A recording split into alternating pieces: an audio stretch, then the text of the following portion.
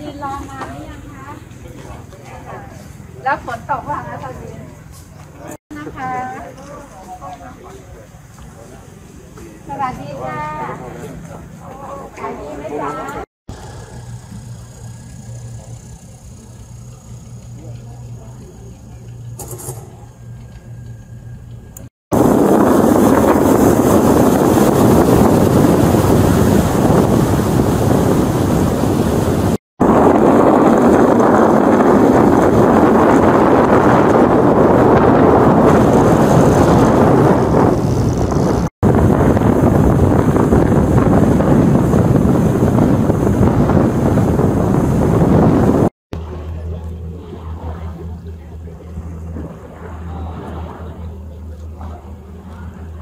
mình phải cứ học học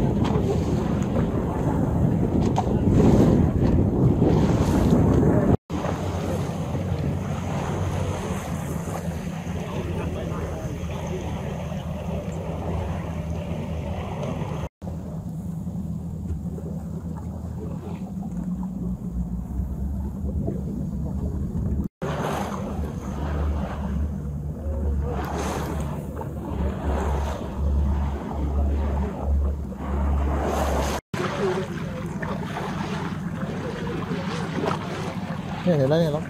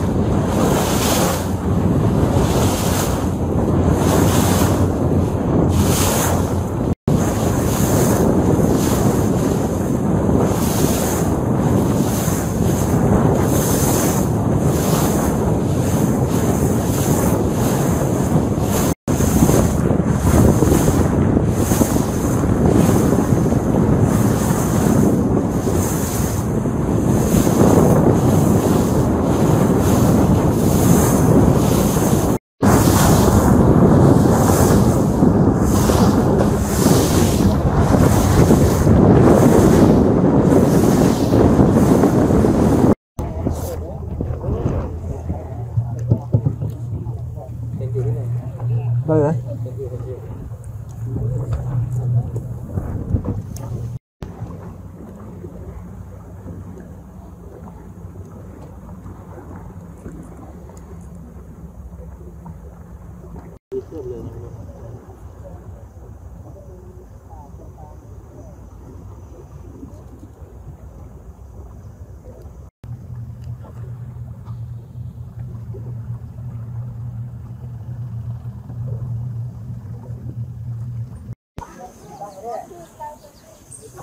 ได้ไหม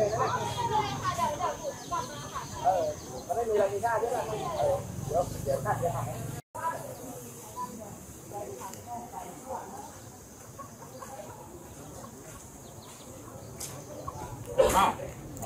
ราจะตอบทางวิชาการนักนักสมศาสตร์ตัวอย่างเดียวกันก็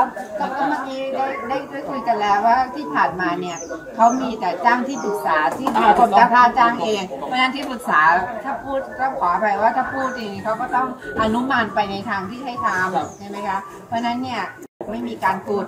แล้วก็จะตั้งตั้งกรรมการนะคะ ซึ่งก็จะต้องมีตัวแทน อย่างเช่นอาจารย์ อย่างเช่นอ่าคนที่ดูแลหัวหน้าส่วนผู้บริหารทุกท่านนะครับผมนะพิชัยเอกวนาคุณครับรองอธิบดีกรมทรัพยากรทางทะเลและชายฝั่งครับอนุรักษ์สัตว์ป่ากรมพยาแห่งชาติสัตว์ป่าและพืชครับ ครับกับเรียนท่านพนักงานและพนักงานเอ่อท่านอาเจตและผู้เข้าก็คือเห็นการเปลี่ยนแปลงตั้งแต่อดีตถึงปัจจุบันครับครับเรียนคุณการจนาเศรษฐปอาจารย์งานทรัพยากรทางทะเลและชายฝั่งที่เจ็ด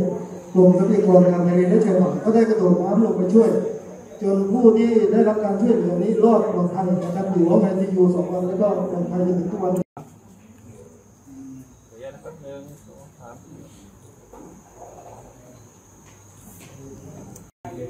ไปในเซ็นเลยไปในทางผู้จัดการเส้นที่ใหญ่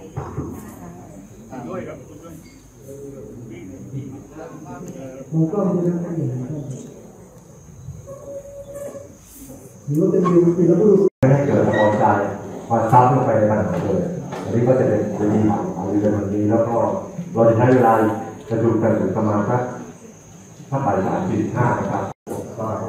ก็กลับไปประสานะครับก่อนจะได้ประชุมจะขออนุญาตให้คุณเป็นการและทางทายก็ฝากกับผู้ร่วมประชุมด้วยครับผู้นำชุมชนท่านผู้แทนกรมเจ้าท่านะคะ แล้วก็ท่านผู้มีเกียรติสื่อมวลชนทุกท่านเลยรวมทั้งคณะที่ปรึกษาที่ร่วมดีเจอเอ่อภาวะโควิด แต่ตอนนี้เนี่ยโควิดก็โควิดหนึ่งถ้าให้มันมาเพลก็ยังก็จะมานะคะ เพราะว่าได้เห็นถึงปัญหาที่เกิดขึ้นเกิดขึ้นนะคะทั้งกับวิถีชีวิตของพี่น้องที่อาศัยอยู่ที่เกาะลิบงนี้นะคะ ซึ่ง ก็มีทั้งชาวประมงอาชีพพื้นบ้านอะไรต่างๆ ได้รับผลกระทบนะคะ สิ่งที่สำคัญก็คือระบบนิเวศก็ได้รับผลกระทบด้วยหญ้าทะเลซึ่งเป็นอาหารหลักของสัตว์ทะเลหลายชนิดไม่เฉพาะพยูนนะคะ ยังมีโลมา ยังมีเต่าอีกนะคะ แล้วก็เมื่อมันเกิดปัญหาที่เกิดขึ้นกับพื้นพื้นพื้นทรายที่เป็นที่เกิดของแหล่งหญ้าเหล่านี้ไม่ว่าจะเป็น อ่าหญ้าคาหญ้าหญ้าคาใช่ไหมคะหญ้าอ่าแปลงแบบนี้เนี่ยเยอะที่สุดประมาณถึง3ใน4คือ 170 กว่าตัวนะคะพยูนเนี่ยนอกจากในนอกจากเป็นแหล่งเป็นเป็นตัวที่บ่งพี่น้องชาวประมง แล้วก็ตัวสัตว์ทะเลเองนะคะ ปัญหาที่เกิดขึ้นเนี่ยมันก็